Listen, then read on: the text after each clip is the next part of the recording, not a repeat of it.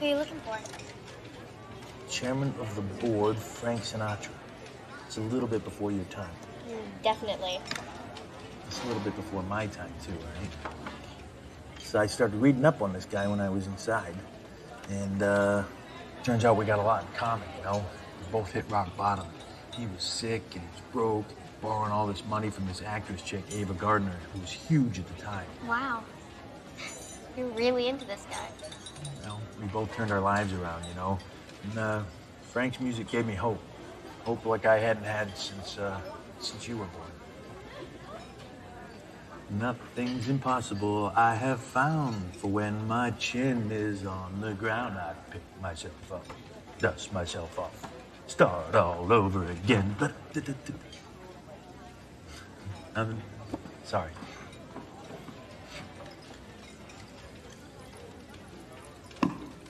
Why'd you do it? What? Leave us.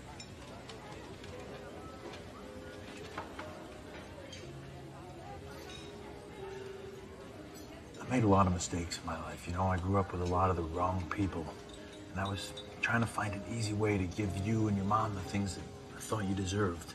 You know, when I got caught. How come the first five years you were away, you didn't write me a single letter?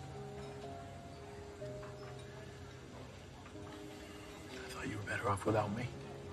You know, and then I started listening to Frank, you know, and Dr. Marjorie, and I started making up for lost time. Yeah.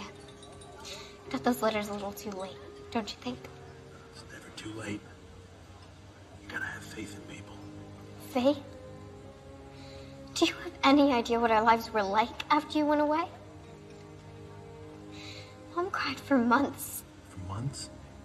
Your mom cried for months? Yeah. And school. Try explaining to your friends why your dad can't come to your soccer games or show up for parent night like all the other dads. Because he's in jail.